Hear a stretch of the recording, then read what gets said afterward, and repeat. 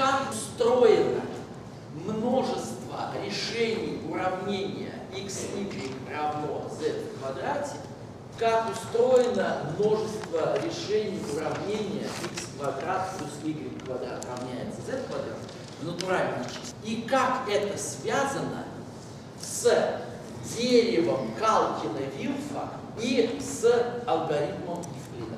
Что такое дерево Калкина-Вилфа, я на этом кружке рассказывал. Ну, разумеется, я сейчас не буду э, надеяться на то, что вы э, помните про это самое дерево, и поэтому э, буду рассказывать, э, как если бы что никто ничего не знал.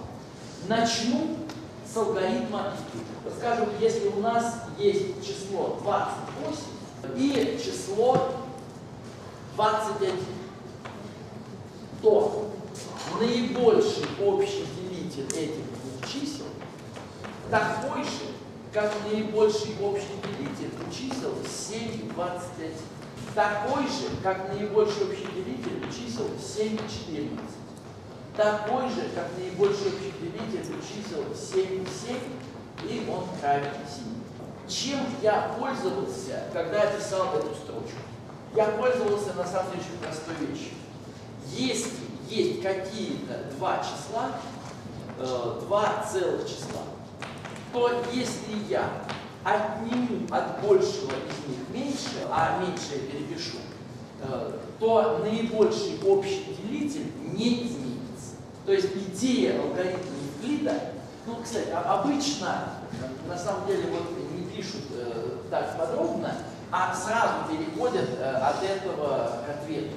Э, и обычно, э, когда объясняют школьникам, ну, говорят так, что если вам дали два числа n и m, то разделите n на m с остатком. Будет какое-то частное и какой-то остаток. И записывают, что наибольший общий делитель числа n и числа m это есть наибольший общий делитель числа r и числа m. То есть от числа n остается только остаток. Это, конечно, замечательно, но подумайте, мы же можем взять и от числа n по одному отнимать, отнимать и отнимать это самое m. Если мы отнимем q раз, то как раз и получится то же самое. Поэтому не обязательно делать так, а можно вот э, за несколько раз все сделать. Так, поскольку вот это равенство является чрезвычайно важным, давайте я не поленюсь и его докажу. Итак, почему наибольший общий делитель э? Потому что если у вас число n делится на какое-нибудь число d, и число m тоже делится, то что это означает? Это означает, что n это dx, dx какое-то целое число, а m это dy, где y какое-то целое число. В таком случае n минус m это есть dx минус dy, то есть d умножить на x минус y. Ну, замечательно. Значит, это тоже делится на число d. Значит, если у вас э, числа n и m делятся на какое-то число, то и разность тоже делится, ну и m по-прежнему делится. Наоборот, представьте себе, что числа э, n минус m и m делятся на какое-нибудь там число, я не знаю, c. Да? В таком случае n минус m это там cz, э, m это ct, где z это целые числа, а значит n это cz плюс ct. Ну, то есть c умножить на z плюс d, а это делится на c. Идею поняли? Поняли идею. Отлично. Значит, получается, что если у вас есть общий делитель то он же будет и здесь. И если у вас есть общий делитель у этих чисел, то он же будет и здесь. Ну и значит наибольшие тоже совпадают, то есть просто множество общих делителей совпадает. А таким образом, когда вам дали абсолютно любые числа, ну я не знаю, сейчас у нас 2015 э, год, э, и какое-нибудь э, еще число. 1645. 1645, например, да. Вот. Замечательно. Хотим мы посчитать у них э, наибольший общий делитель. Так, ребята, я вот этот вот нот прекращу писать, потому что, ну, понятно, что каждый раз имеется в виду, что нот.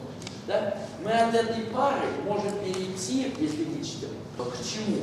Сколько будет 115 минус 45? 70, правильно? К паре 70 1945. Э, от этой пары мы перейдем, ну здесь будет очень долгая история, 70 э, э, и сколько там, из числа 1945, если вычесть 70, 875. 1875. 75. Замечательно. А здесь сколько будет? 1805. 1805. А, Слушайте, а может я не буду дальше писать? Э, считайте, что все понимают, да? Что мы так пойдем, пойдем, пойдем, пойдем. Единственное, давайте догадаемся, до чего мы в конце концов дойдем. До остатка отделения числа 1805 на 70, правильно? Ну, давайте посмотрим, что это за остаток. Что это за остаток? Э, будет 55. Значит, в какой-то момент мы придем к паре 70-55. Ну, замечательно. А 70 минус 55? Сколько? 15. 15. 40, 15. Да. 15, 40. 25, 15. 15, 25. 10. 15, 10. 5, 10. 5, 10. 5, 5. Ну и значит ответ наибольший общий делитель равен 5. Так работает алгоритм Евклида. Повторяю, чаще всего, когда рассказывают вот эту вот идею постепенного вычитания 70, э, говорят так, что лучше разделить остатком, это быстрее, экономить. Но, с другой стороны, не так важно. Так вот, ребята, сейчас я задам себе простой вопрос. можно ли вот эту картину оформить в виде какого-нибудь дерева. Снимите куртки, достаньте, пишите принадлежности все. Сто человек вас подождут, ну, быстрее. Здесь не сто. Все, ладно. Ну, скажите. А, кстати, сколько здесь народу ну, Человек. Много. Смотри. Раз, два, три, четыре, пять, шесть, семь, восемь, девять, десять, одиннадцать, двадцать, четырнадцать, на первом ряду 14, на втором 15, да? Но, значит, где-то хорошо 14 в среднем ряду. Раз, два, три, четыре, пять, шесть, шесть заполненных рядов, еще чуть-чуть не, не заполненных. Скажи, пожалуйста, сколько будет 6 на 14? 84. Так что с учетом родителей э, все-таки больше 100 наберется. Там два незаполненных ряда, это все-таки тоже человек 14 там найдется. Э, вот, не в том дело. Мы с вами, э, начав с любой пары чисел, Э, движемся по алгоритму Евклида до момента, когда числа совпадут. В этот момент, естественно, мы определяем, что э, нашли наибольший общитель. Так вот, ясно, что, скажем, для пятерки движение и движение для случая, когда наибольший общий делитель будет равен, не знаю, там, 7 или, там, не знаю, там, 20. Это совершенно разные движения. А вот э, если у вас наибольший общий делитель получается одним и тем же. Давайте поэкспериментируем, э, скажем, с ситуацией, когда наибольший общий делитель равен единице. Возьмем какую-нибудь пару, потом возьмем еще пару, еще пару и посмотрим, нет ли в этих траекториях чего-нибудь э, похожего. Ну, э, какие есть точно взаимно простые числа? 3-4. Например, 3-4. Отлично. Э, например, сейчас пойдем чуть побольше. 20 и 17. И что-нибудь еще предложите? 104 и 50. Нет, 104 это... Сколько? 7, 12. Это мне гораздо больше нравится, чем ваши большие. Значит, итак, 3, 4 переходит в пару 3-1 переходит 2-1, 1-1 и на этом останавливается. Отлично. 20-17 переходит в 3-17, 3-14, 3-11, Э, ну, ребята, дальше все понятно, я быстро пишу. 3, 8, 3, 5, 3, 2, 1, 2 и, наконец, 1, 1. Так, и теперь 7, 12. Это будет 7, 5, 2, 5, 2, 3, 2, 3, 2, 1 и 1, 1. Есть что-нибудь общее или нет? Последние две скобки у всех общие. Вот это. И вот это. Согласитесь, что это одно и то же, правильно? Да. А, таким образом. Да-да-да, и, конечно, конец один и тот же. Везде 1, 1, 1, 1, 1, 1. А, если я возьму какую-нибудь еще пару, давайте, здесь на доске есть место, что-нибудь 13, 27, отлично. 13, 27, 13, 14, 13, 14, 13, 1, 12, 1. Так, ну и дальше, э, можно я не писать? Э, сколько там будет? 3, 1, 2, 1 и 1, 1. 3, 1, 2, 1, 1, 1. А, это вот это. Ну что, с одной стороны, не такие уж большие совпадения.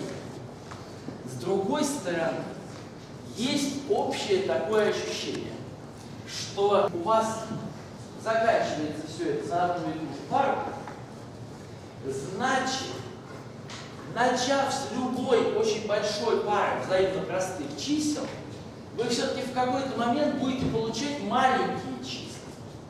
Э, и у нас крайне невысокий, что называется, репертуар.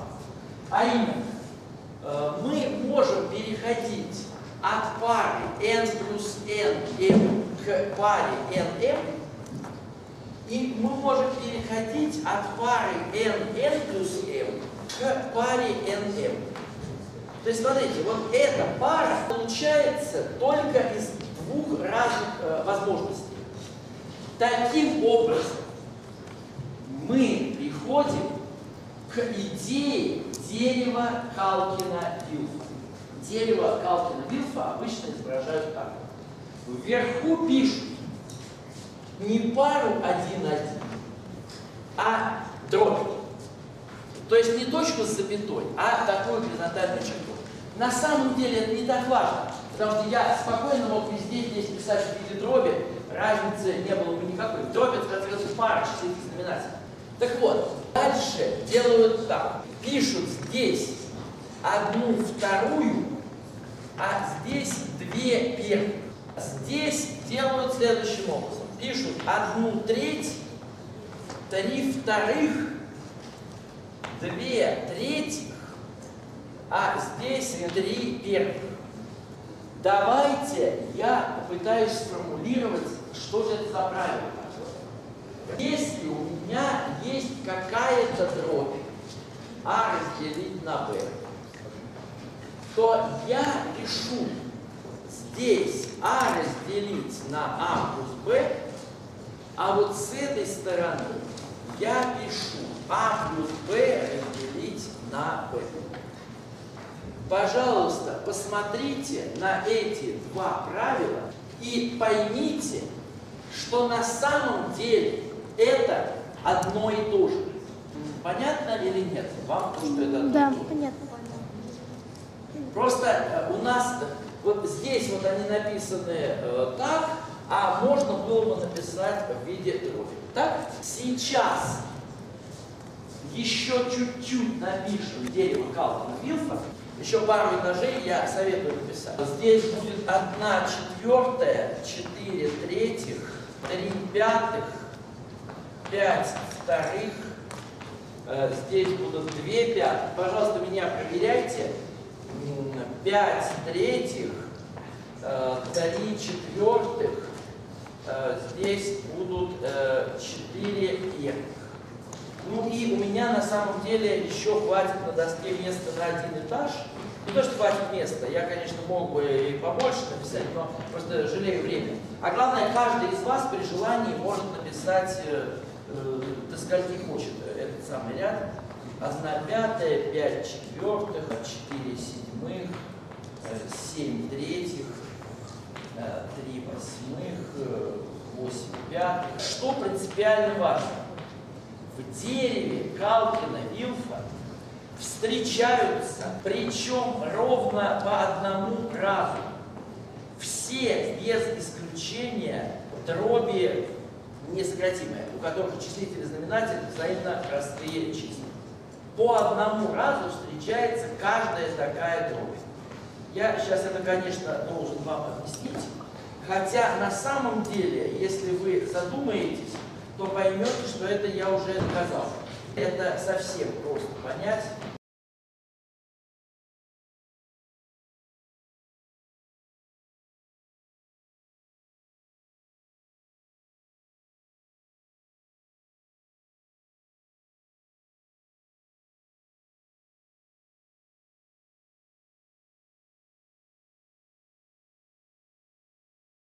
Смотрим, как же эти вещи связаны. Вот скажем, вот здесь у нас одна первая, одна вторая, одна третья, четыре третьих. Одна первая, одна вторая, одна третья, четыре третьих. Э, видите, что вот эта верхняя наша траектория, она есть в дереве Калкина Вилфа? Есть?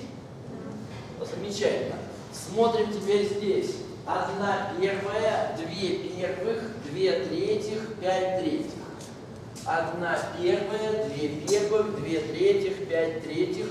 Что там дальше было? Э, восемь третьих, ну и так далее. Да? Между прочим, дерево Калкина Вилфа так называется потому, что его придумали в самом конце 20 века.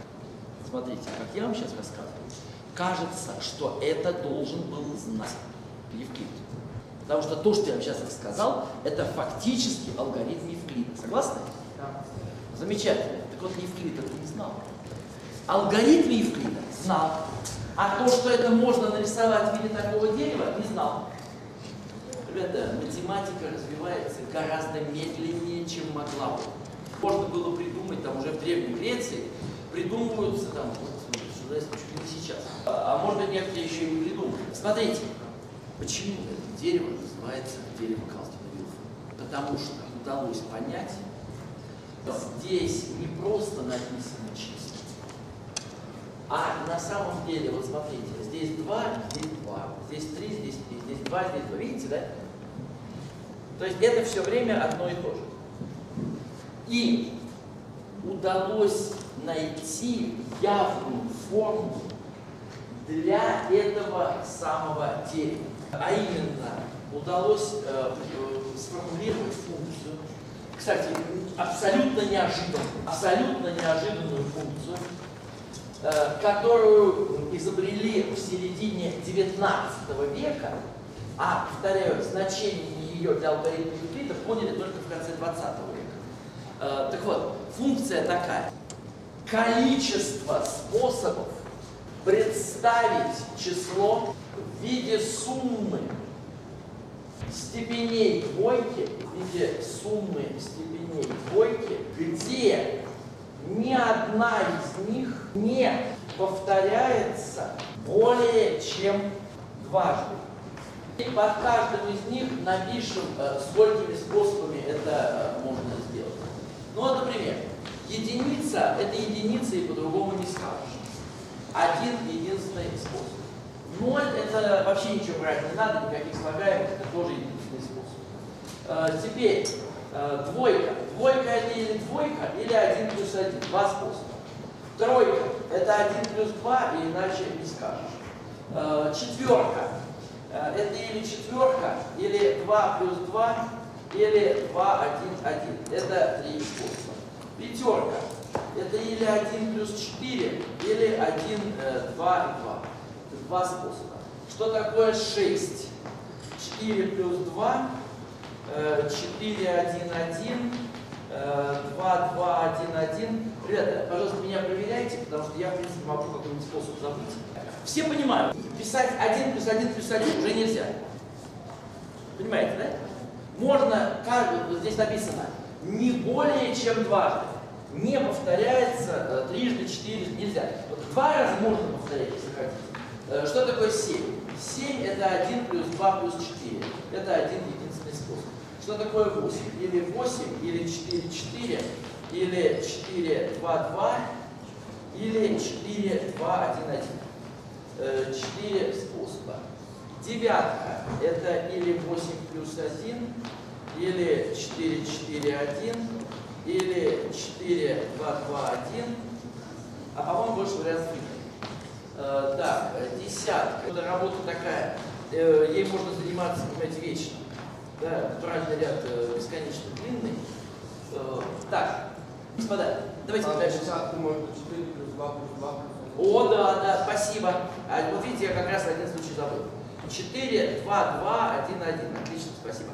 Так, раз, два, три, четыре, пять. Да? Пять. Э, спасибо вам. Так, ребята, а вот теперь давайте посмотрим, посмотрим сюда. Следите за руками.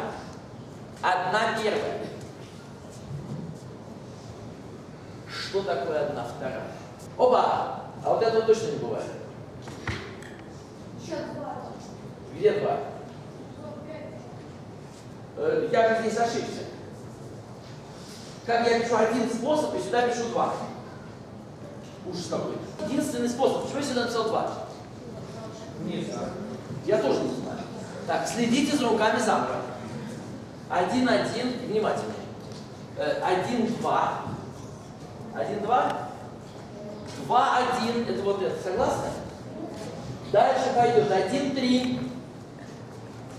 Три, два, все видят? Дальше, дальше три первых. Дальше все видят, одна четвертая. А теперь, господа, догадайтесь, что потом будет. Вот не подсчитывая варианты, какие числа будут? Значит так, три пятых, дальше. Двойка, дальше. Пять, дальше. Три. Э, Три, дальше. Четыре. Четыре, дальше. Один. Один. Ну, господа, э, что называется, зная ответ, я уже могу под него подделаться. Э, 8, 2, 1, э, 4, 4, э, 2, 1. Отлично. Пять вариантов. Это уже интереснее. Давайте подумаем. Так, э, 13. Э, 13 это 8, 4, 1. Это э, 8, 2, 2, 1. Или 4, 4, 2, 2, 1. Отлично, нашел. Так, 15, один вариант, э, эта двоичная система никогда не подводила. Э, 8, 4, 2, 1. Так, а вот теперь э, два этих столбика, господа, давайте я объясню, как можно их заполнять и заодно просто получу форму. Потому что понятно, что я, конечно, могу сейчас просто, э, ну, так сказать, в уме посчитать, но я хочу объяснить общую идею. Как одно из этих чисел э, четное, это 12, другое, кстати, тоже четное, это 14, да? Э, Потому что это случай, э, случай четных чисел. Потом надо будет еще объяснить вам, э, как случай нечетных. Так вот, ребят, смотрите, число 12. Я хочу представлять, что такое 12. Э, Либо есть единицы, либо нет. Если нет единиц, то 12 это удвоенная шестерка. Для шестерки я выписал все варианты. Вот они. Э, давайте я их напишу. Это либо э, 4 плюс 2, э, либо э, 4, 1, 1. Последний вариант. 2, 2, 1, 1. Так вот, умножив на 2, получаю в одном случае 8 плюс 4, в другом 8, 2, 2, и в третьем э, 4, 4, 2, 2. Вот они, три варианта. Есть другой способ. Написать 1 плюс 1 и 2 раза 5. Что это будет такое?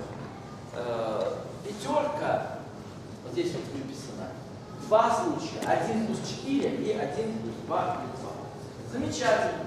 Значит, э, в одном случае будет 1 плюс 4, в другом случае будет э, 1 плюс 2 плюс 2. Отлично. Что это такое? Это 1, 1, 2, 8, а здесь 1, 1, 2, 4, 4. Господа, я выписал все пять вариантов для числа 12. М, Не буду их сюда копировать, я считаю, что вот они все, все видны. Ровно так же можно было поступить с числом 14. Число 14 это или дважды 7, а э, это вот что такое? Это 2 плюс 4 плюс 8. Да? 2, 4, 8. Или 1 плюс 1 плюс дважды 6. Вот, это, э, вот эти три варианта. Значит, 1, 1 и дважды 6 это либо 8 плюс 4, либо 1, 1, 8, 2, 2, э, или последний вариант э, 1, 1, э, 4, 4, 2, 2. Э, 4, э, 4, 2, 2. В общем, господа, если вы подумаете о том, что я сейчас вам объяснял, то обнаружите, что вот эта функция, давайте ее обозначим h от n, э, количество представлений числа n в виде суммы степеней двойки, где никакая не повторяется более чем два раза. Так вот, это самое h от n, это вот что такое. Либо надо выписать, как все представления числа n, и в каждом из них все слагаемые удвоить, либо надо написать 1 плюс 1, а потом написать все представления числа n минус 1, и там все слагаемые удвоить. Значит, э, будет вот такая вот формула. h от 2n это сумма h от n и h от n минус 1. Отлично. Э, Это уже очень важное продвижение. Теперь про нечетные числа. Про нечетные числа гораздо легче. Дело в том, что если у вас есть нечетное число, скажем, 2n плюс 1, то совершенно понятно, что вы должны брать единицу. Если вам дали нечетное число 2n плюс 1, то вы обязаны брать единицу, после чего 3 единицы брать нельзя, да, а 2 нельзя, потому из зачетности. Значит, надо ровно одну единицу. И после этого надо взять число n и все слагаемые в его, э, за, ну, там, как, как, как оно не разложено, все слагаемые удвоить. Ну и естественно, если n на единицу уменьшить, э, h от числа 2n минус 1, э, это h от числа n минус 1. Да? То есть единицу берем, а, и останется 2n минус 2, и при этом нельзя брать единицу. То есть надо удваивать все сложения числа n минус 1. Э, Я вывел те самые формулы которые нужны для доказательства следующей явной э, формулы. Вот это вот, это h от нуля, а это h от единицы. Это я уже объяснял. Это h от единицы, а здесь внизу h от двойки. Э, h от двойки и h от тройки. Здесь, соответственно, h от тройки э, h от 4, здесь опять h от 4, здесь h от 5, ну и так далее. Что у нас с вами замечательное получается? Получается, что вот это вот на первом месте, на втором, на третьем, если наше дерево, которое, повторю, называется дерево Калкина-Вилфа, подряд слоями, верхнее одно число, потом два числа, потом четыре числа, потом 8, потом 16 и так далее, то оно будет устроено совершенно замечательным образом. На n месте будет написано h от n минус 1 разделить на h от n. Вот теперь давайте подумаем, как объяснить, почему это действительно будет так. Вот смотрите, Здесь у нас третье место, да, вот это первое, второе, это третье. Под ним расположено шестое и седьмое. Значит, под n местом у нас на самом деле расположено 2n и 2n плюс первые места. Здесь в знаменателе будет э, h от 2n, здесь э, в знаменателе будет h от 2n плюс 1. Да? Числители, соответственно, 2n минус 1, а здесь будет э, 2n. Так вот, господа, я должен вам сейчас объяснить, почему вот так вот все замечательно получается. Ну, почему э, под третьим местом написано шестое или седьмое там, э, под, э, не знаю, там, в общем, под, под, под вторым местом написаны э, третье и, э, сейчас, под вторым, нет, четвертое, четвертое и пятое. В общем, почему под n местом написано 2n или 2n плюс первое, я уверен, что вы справитесь сами. Просто посмотрите, э, тут никакие дроби, никакая комбинаторика, в общем, не нужны. Да? Э, эта вещь простая, и что нужно объяснить? Нужно объяснить, почему вот эта штука, почему вот эта штука согласуется с нашим правилом образования дерева Калкина-Вилфа. Э, я, вот у нас было правило э, образования дерева Калкина-Вилфа. Все понимают? Замечательно. И вот у нас есть э, вон та штука. А давайте я вот это правило перенесу, перенесу. Давайте проанализируем ситуацию. Что такое А? Это H n минус 1. Что такое B? H от n минус 1 это А, H от n это B. А теперь смотрите по нашим формулам. От 2 n минус 1 это что? Это А. Видите, да? А или не А? А. От 2n это А плюс B. Все как и заказывали, А плюс Б. Итак, h от 2n, это у нас вот опять по этой формуле, это а плюс b. Ну и от 2 плюс 1, это у нас b. Все в точности так, как надо. Таким образом, я доказал, а, собственно, правила образования дерева Калкина-Вилфа. Э, повторяю, в более подробном варианте эта лекция уже лежит у нас, э, так что, кому интересно, ее в более длинном варианте. Но мне кажется, что если так думаться, то вполне можно было, что называется, понять каждый а, Значит, все. Алгоритм Евклида для пар чисел, которые взаимно простые, приводит к бесконечному дереву. Заметьте, пожалуйста, это дерево в каждой своей вершине раздваивается. Сейчас надо перейти к... Я обещал объяснить, э, как дерево Калкин ну как вообще дерево связано с двумя задачами. Э, с тем, как решать натуральных числах уравнения x равняется z квадрат, и как решать в натуральных числах э, уравнение x квадрат плюс y квадрат равняется э, z квадрат. На самом деле вот эта задача чуть-чуть посложнее, но не сильно. Попроще задача x, равняется z квадрат. Ну давайте посмотрим. Вот есть у нас уравнение x, y z. Сразу понятно, что возможна такая ситуация, что числа x и y имеют некоторый общий множитель. Представьте, x это какое-то там d умножить на a, y это какой-то d умножить на b. А вот эти a и b уже взаимно простые. Тогда x, y это dA db равняется z квадрат. То есть d в квадрате умножить на a умножить на b это z квадрат. Обратите внимание, здесь у меня уже наибольший общий делитель чисел а и b это единица. Когда произведение двух взаимно простых чисел является квадратом. Ну, здесь, конечно, надо знать основную теорему арифметики, а то, что возложение на простые множители единственное.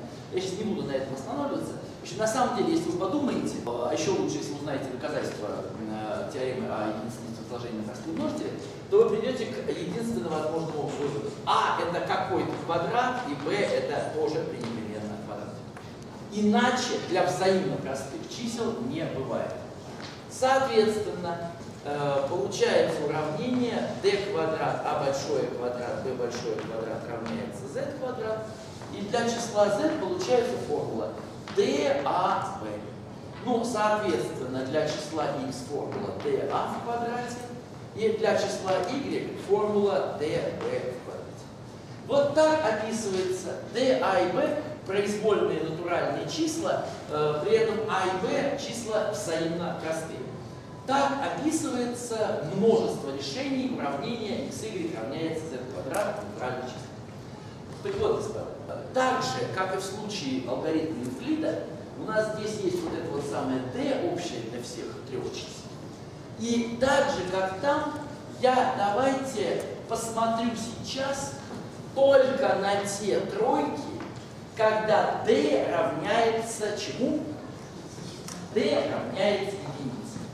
Тогда число z это произведение а умножить на b, число x это а в квадрате, число y это b в квадрате.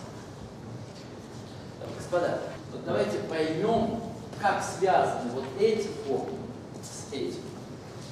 Ну, во-первых, здесь два числа, а здесь э, три числа, x, y, z, да? Но с другой стороны, если вы знаете x и y, то вы довольно легко находите z. Э, давайте я перепишу дерево Калкина-Вилфа э, вот в этих новых техниках. В числителе написано число а, в знаменателе написано число b, а число z идет третий. После них x, y. Как, как э, математики чаще всего пишут, э, как есть.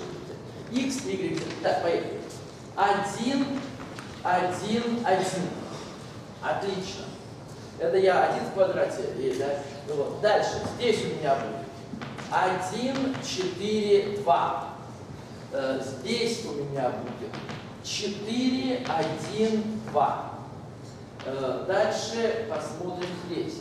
Значит, надо возводить в квадрат. 1, 9, 1, 9, 3. Здесь у нас будет 9, 4, 6. Теперь здесь возвожу в квадрат. 4, 9, 4, 9, 6. Здесь будет 9, 1, 3. 9, 1, 3. Так, господа, я, в принципе, конечно, могу и дальше, но мне кажется, что идею уже все понимают. Здесь будет 1, 16, 4 из чисел 1, 4. Здесь будет 16, 9, 16, 9, что такое 4, 16, 9, 12. Так, можно я дальше буду писать? Считается, что все уже идею поняли. Так вот, заметьте, для случая d равно единице я сумел выписать все вот эти вот тройки. X, y и z. Между прочим, я даже могу рассказать, каким образом это дерево строится, если не смотреть на дерево э, Калкина Вилса. То есть, смотрите, здесь же на самом деле немножко жульничал. Я смотрел э, вот сюда и, так сказать, видя вот эти числа, скажем, здесь вижу 3 и 4, э, соответственно, я здесь писал 9, 16 и трижды 4, 12, ну и так далее. Вот. Но мог, обойтись без этого. Объясняю. Вот если у меня есть э, в дереве Калкина Вилфа э, пара А разделить на Б, то, как вы помните, из нее получалось А разделить на А плюс Б э, и А плюс Б разделить на Б. Так, это все правильно? А теперь напишем это терминах x, y, z. Как это писать в терминах x, y, z? Значит, была какая-то тройка. x, y и z. Давайте я на всякий случай напомню, что это такое. Это а в квадрате, b в квадрате и а умножить на b. Отлично. Из этой тройки получаются две. Э, смотрите, какие. Одна из них это а в квадрате, а плюс b в квадрате и а умножить на а плюс b. А другая это а плюс b в квадрате, b в квадрате и а плюс b умножить на b. Замечательно. А теперь внимание. Как можно было эти тройки выписать прямо через x, y, z? Да очень просто. а квадрат это x, а плюс b в квадрате это э, а квадрат, то есть x, плюс 2ab, то есть 2z, э, плюс b квадрат, плюс y. А что такое а умножить на а плюс b? Это а квадрат плюс аб. Это x плюс z. Ребята, обратите внимание, из тройки x, y, z я получаю тройку x, x плюс э, 2z плюс y и x э, плюс э, z. Здесь уже нет никаких а и b. Я могу напрямую идти от этой тройки к этой, минуя все эти слова про а и b. И здесь то же самое. Если я плюс b возложу в квадрат, то это получается x плюс 2z плюс y. b квадрат это и есть у нас y. А здесь у нас с вами получается э, z э, плюс y. Таким образом, у меня есть простое рекуррентное правило, которое по решению уравнения x, y равняется z в квадрате по тройке чисел x, y, z изготавливает две тройки, э, левую тройку и правую тройку. И заметьте, я могу про А и Б вообще ничего не говорить. Правило, конечно, не вполне простое. То есть э, про А и Б было все абсолютно понятно. Э, на языке X, Y, Z, давайте я торжественно нарисую. Значит, тройка X, Y, Z переходит либо в тройку, или же в тройку x плюс 2z плюс y, y и z плюс y. Здесь нет никаких а и b. Это просто правило. Начинаем с чисел 1, 1, 1. И если мы будем так до бесконечности раздваиваться, раздваиваться, раздваиваться, то мы пройдем по всем решениям уравнения x, y равняется z квадрат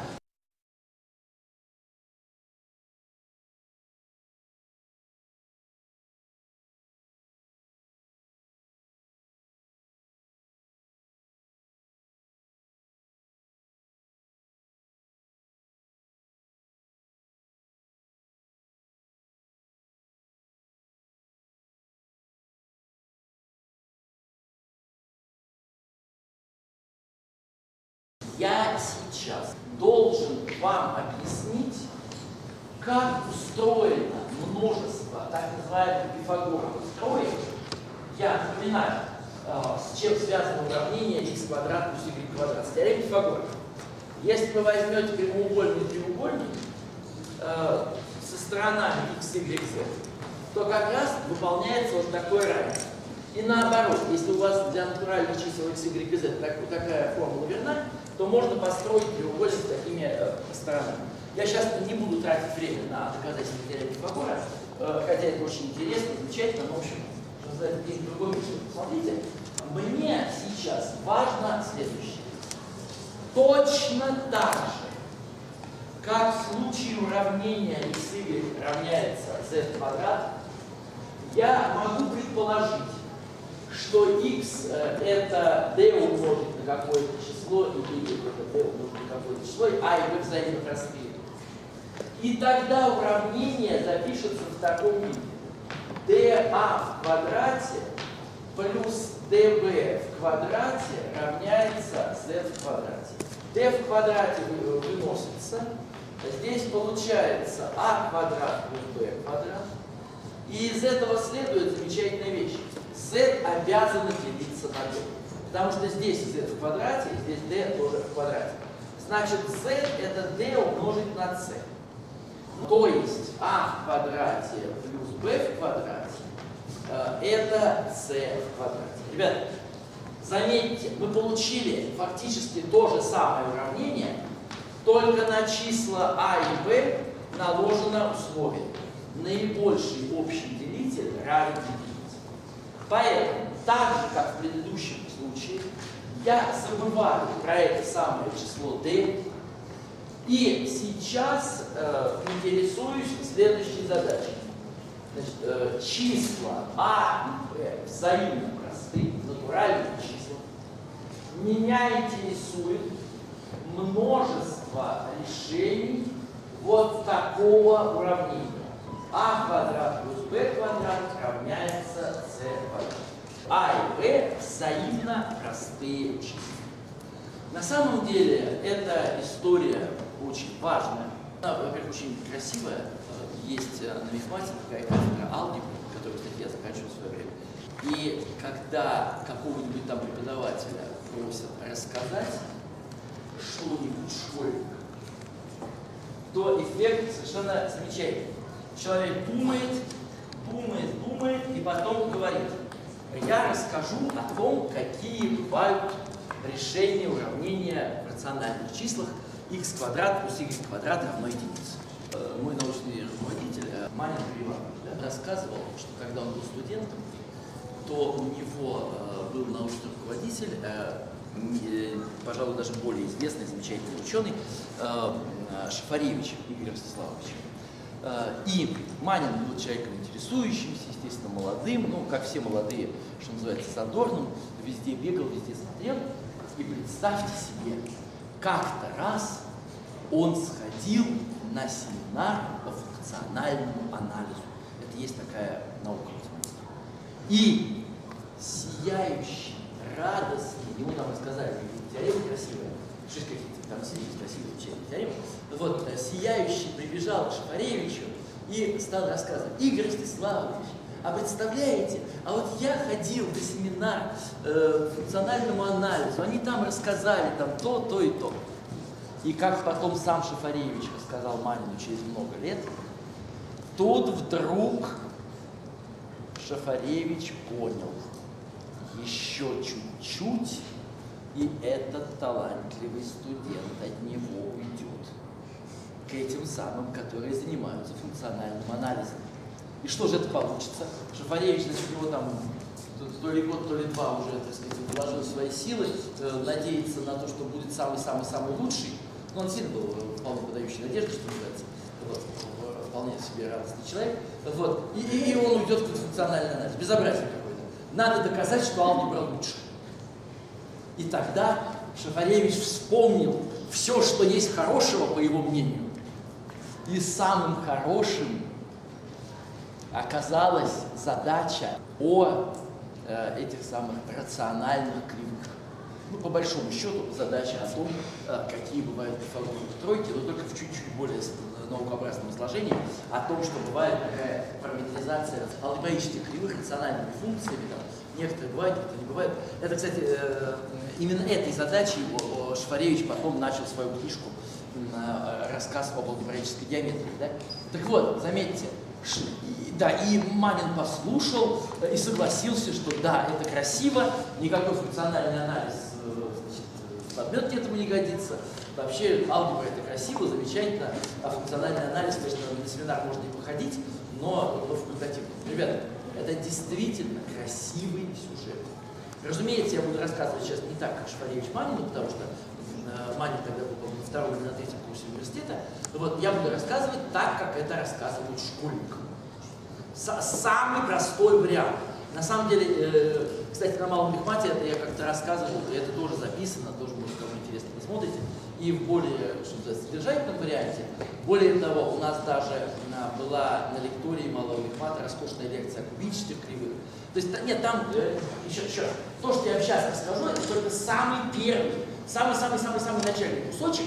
Там есть очень много гораздо более интересных вещей. Но сейчас, чтобы все-таки успеть про и чтобы лекция сегодня э, реально закончилась, я должен сказать самую простую вещь. Как записывается решение уравнения а квадрат плюс b квадрат равно c квадрат, где а и b взаимно простые числа.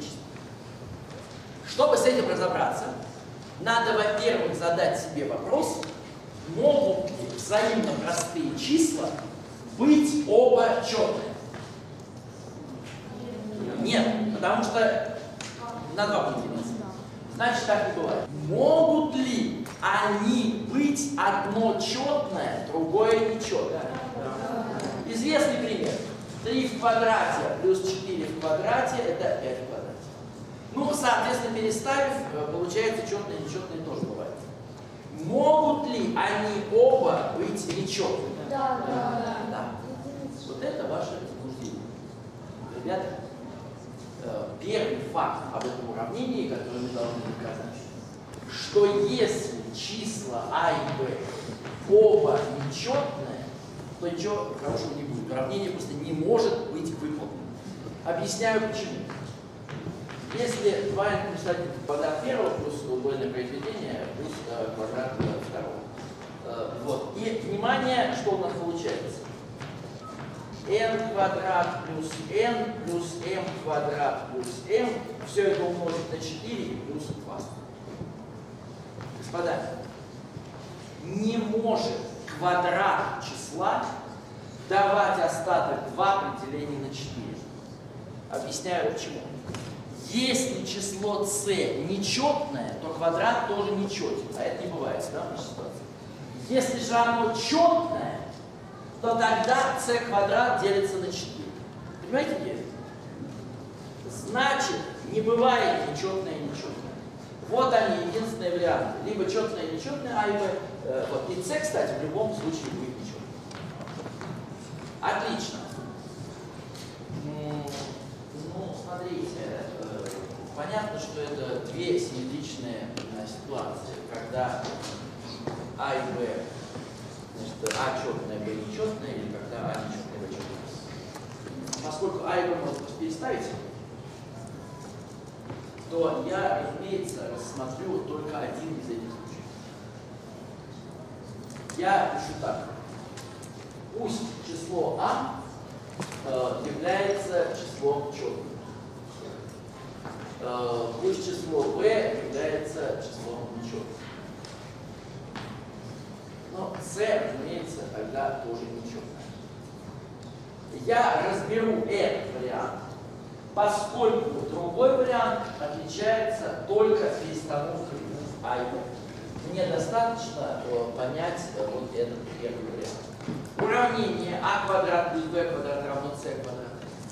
Я перепишу э, следующим простым образом. Перенесу э, b э, из левой части вправо. Получится а в квадрате это c в квадрате минус b в квадрате. c минус b и c плюс b это числа четные или нечетные? Четные. Четные. Потому что b и c оба нечетные. Значит, это четное и это тоже четное. Поэтому я преспокойненько могу написать так. c минус b и c плюс b обозначить какими-нибудь 2k, c плюс b будет 2m. Мне теперь нужно понять, э, э, можно ли через числа k и n выразить, э, собственно говоря, сами числа. Для этого вот эти уравнения сложим, получим 2c это 2k плюс 2n. 2c это 2k плюс 2n. Проще говоря, c это k плюс n. Отлично. Э, Из нижнего уравнения вычитаем верхнее. Получается 2b. 2b это 2n минус 2k. 2n минус 2k. То есть b это отлично. Я вывел замечательная формула. Так, то есть переписываю уравнение. а в квадрате это 2k умножить на 2n. c это k плюс n. э, b это n минус k. Замечательно. Обратите теперь внимание. Могут ли числа k и n иметь какой-то общий делитель, кроме единицы? Вот представьте себе, что k и n делятся, например, на 15. Понимаете, что в таком случае b и c тоже будут делиться на 15? Да. Но если b и c делятся на 15, то и a будет делиться на 15. Значит, получается противоречие с тем, что а и b были взаимно простые числа. Значит, числа k и n пренепременно взаимно простые. У меня числа а, b и c были натуральные.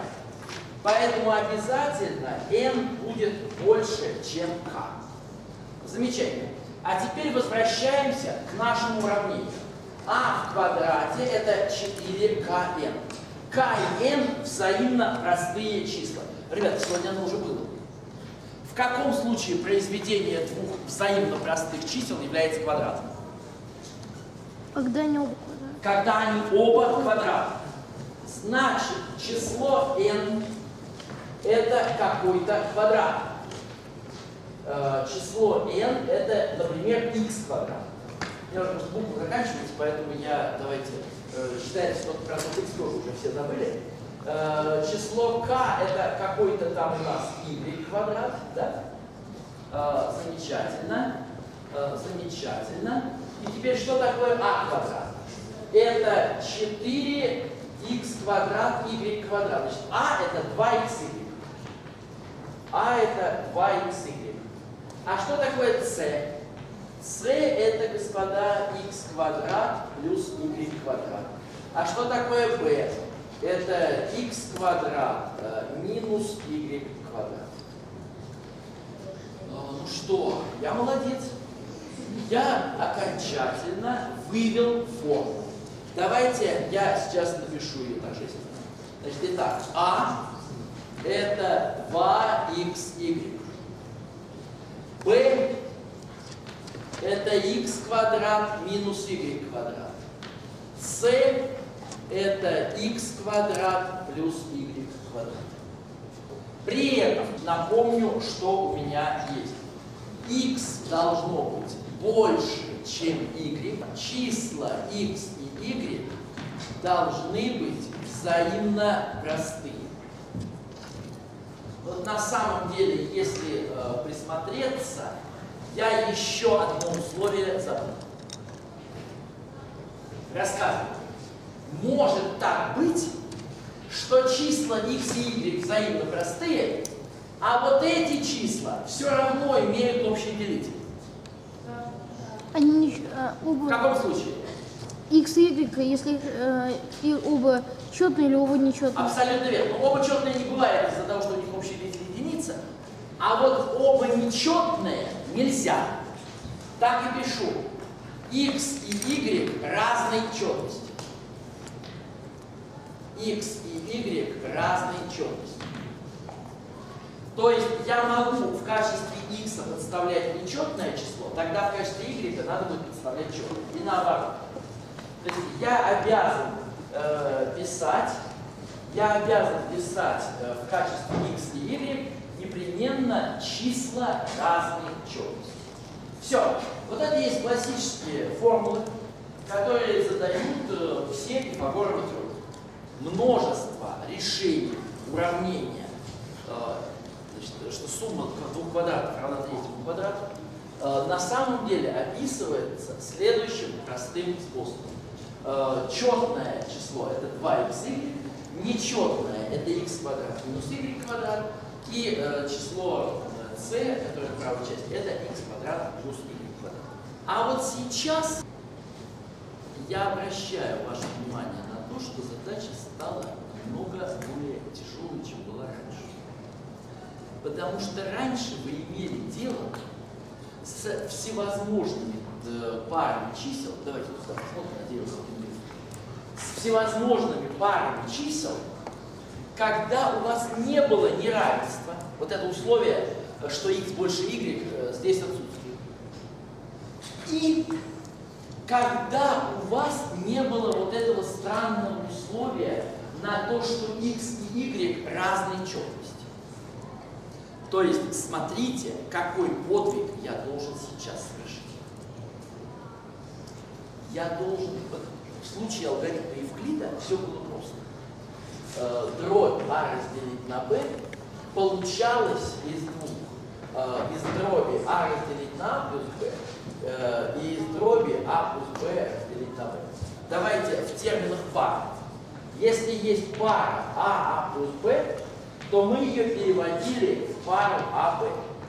И если есть пара А плюс Б, Б, то мы ее переводили то же самое в пару АБ. Итак, у нас пары уменьшались, уменьшались, уменьшались, доходили до пары 1-1. И все замечательно. А вот сейчас хитрая штука. Значит, во-первых, x и y натуральные числа. Во-вторых, x больше y.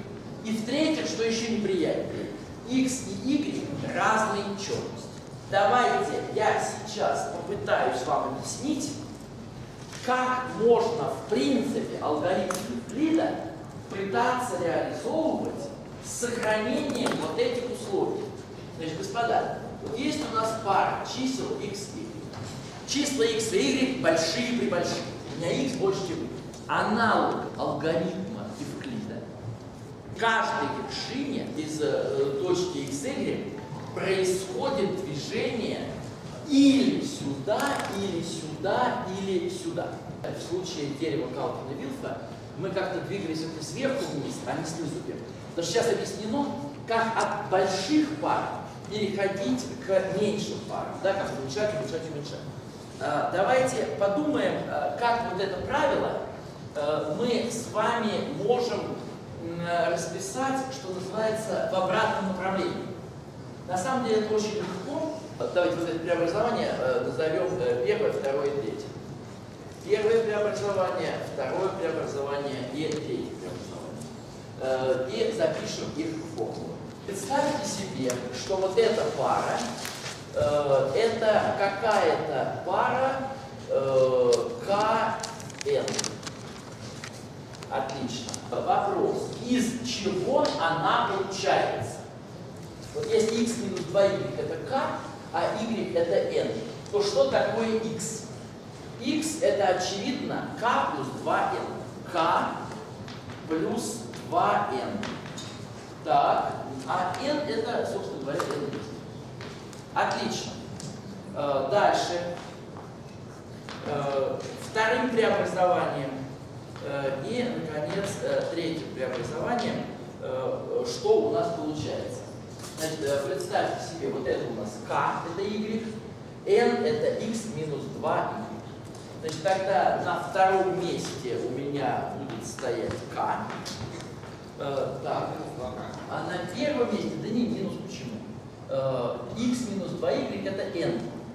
Значит, x это n плюс 2k. Теперь третий преобразователь. Значит, опять у меня вот это вот k, вот это вот n. Э, давайте соображать, что здесь будет. Здесь будет число k. А здесь э, что такое x?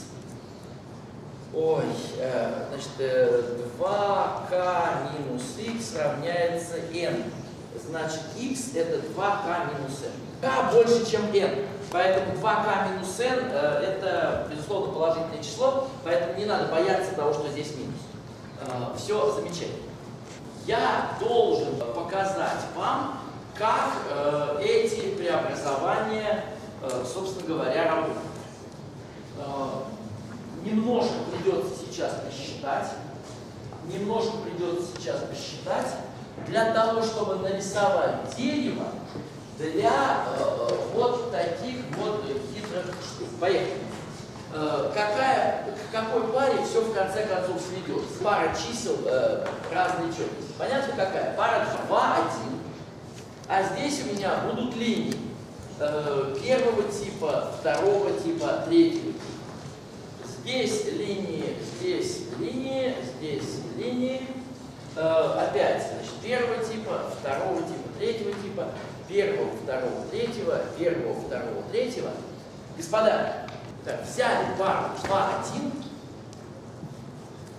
Математический результат, который я вот сейчас рассказываю, как ни странно, был получен довольно, э, ну так, э, исторически недавно. 1970 год. Причем, что забавно, получивший его математик э, понятия не имел о дереве Калкина То есть он независимо ни от чего понял, выписал все вот эти формулы. Э, ему было гораздо сложнее. Нет, вообще любому человеку, который первый раз делает, гораздо сложнее. В каком-то смысле сила математика – это то, сколько он пробил задачи просто силой. Потому что потом уже как что-то решено, э, приходят люди, которые видят, что можно и там полегче, там полегче. 4-1.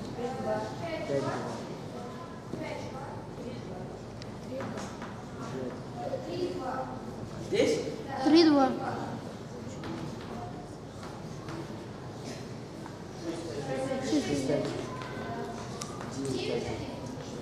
Девять четыре. Девять четыре, Александр Васильевич. 9,4? Да. Семь четыре. Девять два. 9,2 это правда. Двенадцать пять. 12? Да.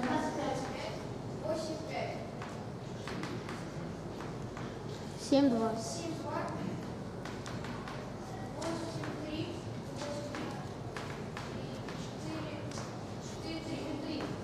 4,3 бывает. Ну правда, 2, 3 минус 2 это если 4, а... Все отлично. Ребята, э, надеюсь, меня не заставите писать следующий ряд.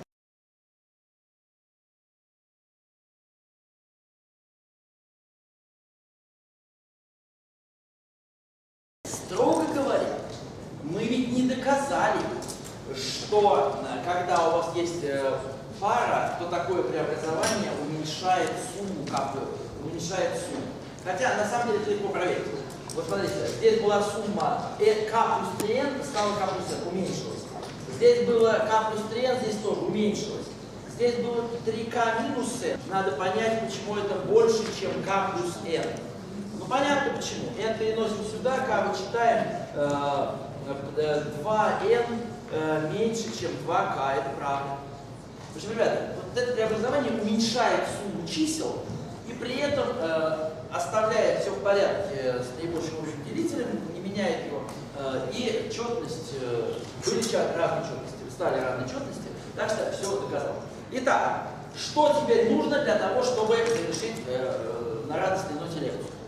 Нужно объяснить, так же, как я это сделал для уравнения x, y равняется z квадрат, как можно нарисовать все множество решений уравнения а квадрат плюс b квадрат равняется c квадрат, если при этом ничего не говорить про вот эти вот числа. То есть, понимаете, какая идея? Мы, конечно, знаем, что а это 2xy, b и c это там x квадрат плюс y, плюс y. Но как можно составить дерево решений, если при этом говорить только о числах а, b, c и запретить говорить о числах э, x, y и так далее? Э, ну, ответ очень простой. Так же, ровно так же, как мы это сделали э, в том случае, смотрите, что мы можем сделать. Вот у нас ведь у нас четко есть картинка. Раз, два, три. Давайте посмотрим. Значит, у нас есть пара чисел КН.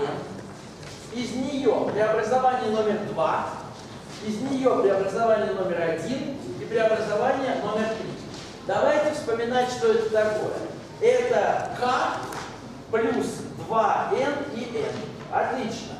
Здесь n плюс 2k и здесь k. И, наконец, здесь 2k минус n и k. Замечательно. Теперь вспоминаем, что такое а. Э, Это есть 2kn.